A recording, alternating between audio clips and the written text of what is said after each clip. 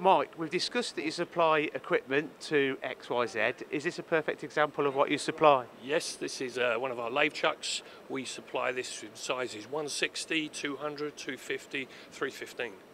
And also um, the tool station here. Can you tell me a little Yeah, bit about the this? tool posts we supply from the range of uh, tool holders that go on it as well. They buy them in kits as well. Special comes supplied with the tool holders already on it as well.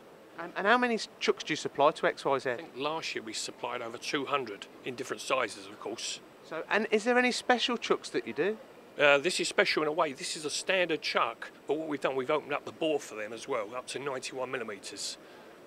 Um, and and you mentioned the country lathe chucks as well. Yeah, I think in the last couple of years we've sold to them as well two one metre chucks as well. Um, they went on their all country lathes they put out as well. Well, this kind of shows and illustrates how many uh, lathes that are being sold. It's incredible, isn't it, as well? Cheers, Mike. Thank Cheers, you. mate. All the best. Bye bye.